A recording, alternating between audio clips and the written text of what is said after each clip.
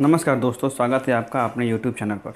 दोस्तों, आज का यह वीडियो बेल्ट्रॉन पास सात हज़ार तीन सौ ग्यारह अभ्यर्थियों के ज्वाइनिंग से संबंधित है। आप सब जानते हैं कि हम लोग 2019 से बेल्ट्रॉन से सीबीटी और टाइपिंग पास करके ज्वाइनिंग का इंतज़ार ही कर रहे हैं।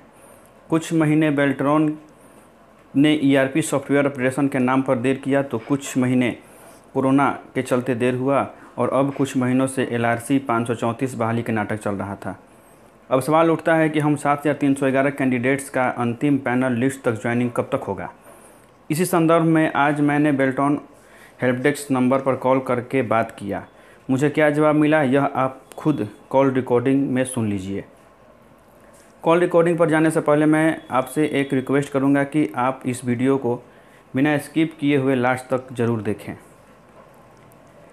रिकॉर्डिंग सुनने के बाद मैं आपको बताऊँगा कि आखिर मैंने कॉल क्यों किया था। और मुझे जो जवाब मिला उसका मतलब क्या बनता है? क्योंकि अधिकारी इनडायरेक्टली बहुत कुछ कह जाते हैं जिसका मतलब समझना पड़ता है। तो चलिए चलते हैं रिकॉर्डिंग पर और प्लीज़ यार चैनल को सब्सक्राइब कर देना। क्योंकि आपका सब्सक्राइब करने में कुछ नहीं जाएगा लेकिन आपके भाई का कुछ भला हो जाएगा। चलिए चलते हैं रिकॉर्डिंग पे। हेलो हेलो हाँ जी। नमस्कार सर। नमस्कार। सर मेरा नाम नवीन कुमार हुआ सर। हम्म, सर ये बेल्ट्रॉन का जब सब हम फॉर्म भरे थे हम्म, 2019 में तो एज मैंने जनरल कैटेगरी का भरा था सर ठीक है। और फिर उसके बाद जब ई के हुआ ऑनलाइन हम्म, तो उस टाइम पे मैंने अपना ई डब्ल्यू एस वाला सर्टिफिकेट जो था वो अपलोड सर्टिफिकेट सब कर दिया था।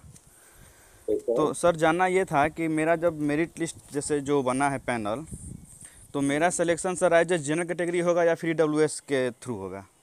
आपका केवाईसी हो गया है। जी के मेरा कंप्लीट हो गया है और उसको एक्सेप्ट भी कर लिया गया है। हाँ तो आपका ई डब्ल्यू एस के अंतर्गत होगा। आपका तुरंत ज्वाइनिंग होगा आप चिंता मत करो। तो सर मेरा अभी बक्सर से हैं हम सर तो कुछ लोगों का हो भी गया सर लेकिन मेरा लगभग छः हज़ार समथिंग के आसपास मेरा रजिस्टर नंबर है सर। इसीलिए तो- टाइम नहीं सर बात ये था सर कि चूँकि दो साल सर हो गए हैं तो कुछ आप बताते सर कितना दिन और लग सकता है पूरे हम लोग को होने में सर ज्वाइनिंग तो सर थोड़ा क्योंकि सर कंडीशन जो है सर घर का बहुत सर ख़राब होते जा रहा है दिन पर दिन। लॉकडाउन में सर आप समझ ही रहे होंगे सर कि क्या हालत था। हम लोग सर ट्रेंड हम लोग ट्रेंड सर डीओ हैं और यहाँ पे हम लोग कहीं जा रहे हैं अपने ज़िले में भी काम करने के लिए। सर दो हज़ार तीन हज़ार पे लोग हम लोगों से आठ घंटा वही काम करा रहे हैं और इतना सर पैसा में सर क्या होने वाला है? नहीं ठीक है। तो अब अब देखिए कहीं से रिक्वेजिशन आएगा तभी ना आपका होगा। अच्छा सर एक और बात सर अभी बिहार सरकार ये जो छठा वेतन आयोग जो ये क्या बोलते हैं अपना वो करिए की है उसमें बोलिए कि के कार्यपालक और सर करना है पूरे ज़िले में पंचायत में। तो सर उसमें तो सर अगर चालू हो कब चालू होगा सर वैकेंसी सर? जब वहाँ से रिक्वेजिशन आएगा तब होगा। अच्छा फिर से जिला अपना अपना रिक्वेशन भेजेगी तब होगा। तो सर कोई आइडिया बताए सर लमसम कितना दिन लग जाएगा? दो साल सर तो हो ही गया। और कितना दिन हम लोग वेट कर सकते हैं सर? चूँकि आप लोगों को प्रोसीजर मालूम है कैसे कितना स्पीड से चल रहा है कितना इक्वेशन आया है आपको सर सब मालूम ही होगा सर। तो एक लमसम सर बताते कि हम लोग कितना दिन और वेट कर सकते हैं सर। तो थोड़ा हौसला सर बुलंद रहता हम लोग का ना? सर हम लोग वेट कर लेते कम से कम हम लोग। हम्म, नहीं उसमें आपको छः महीना वेट करना पड़ेगा। अच्छा मतलब कि हम लोग जो सात हज़ार तीन सौ ग्यारह कैंडिडेट हैं लगभग छः सात महीना में सबका हो सकता है नहीं? नहीं सबका तो नहीं होगा सबका नहीं होगा लेकिन इसलिए नहीं होगा कि जी जैसे जैसे रिक्वेजिशन आएगा वैसे वैसे होगा ना भाई? जी जी जी। तो रिक्वेजिशन मान लो विभाग मांगेगा ही नहीं तो कैसे कमिट कर दिया जाए कि सबका हो जाएगा? वो तो बात है सर। आखिर पोस्ट खाली है तभी तो बिहार सरकार ने कहा कि फिर से आठ हज़ार कुछ जो पंचायत राज है उसमें एक एक कार्यपालक सहायक होंगे। तो अब तो सर ये जिला को एक्टिव होना पड़ेगा ना सभी जिला को कि वो रिक्वेशन भेजे सर? अगर विभाग भेजता है तो हम लोगों को आप लोगों को भेजने में कोई दिक्कत ही है। जी जी वो तो सर हम लोग देखेंगे कि आप लोग हमेशा न्यूज़पेपर में वगैरह में एडवर्टाइजमेंट निकालते हैं कि हर एक जिला अपना अपना रिक्वेशन भेजे। लेकिन हाँ, सर अब तो जिला वाले एक्टिव नहीं हो रहे हैं सर दिक्कत सर उसका हम लोग को खमेजा भुगतना पड़ रहा है सर। दिक्कत ये है। जी। तो हम लोग कुछ नहीं ना कर सकते हैं।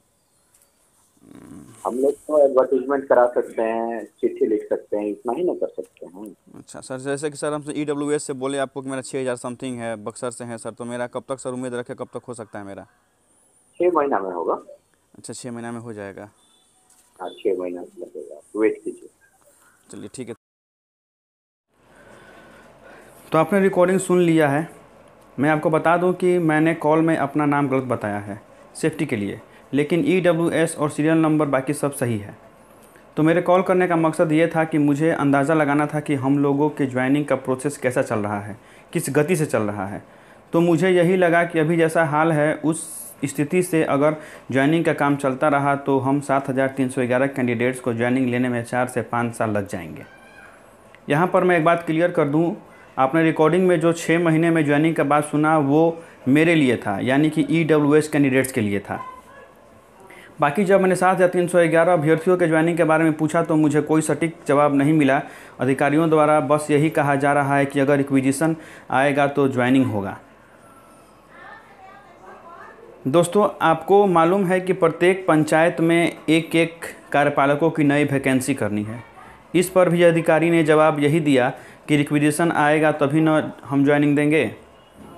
मेरा आप सभी सात हज़ार तीन सौ ग्यारह बेल्टन अभ्यर्थियों से निवेदन है कि आप अपने अपने ज़िले में अधिकारी या संबंधित विभाग में जाकर इस नए पंचायती राज में बहाली को लेकर बेल्ट्रॉन में रिक्विजिशन भिजवाएँ।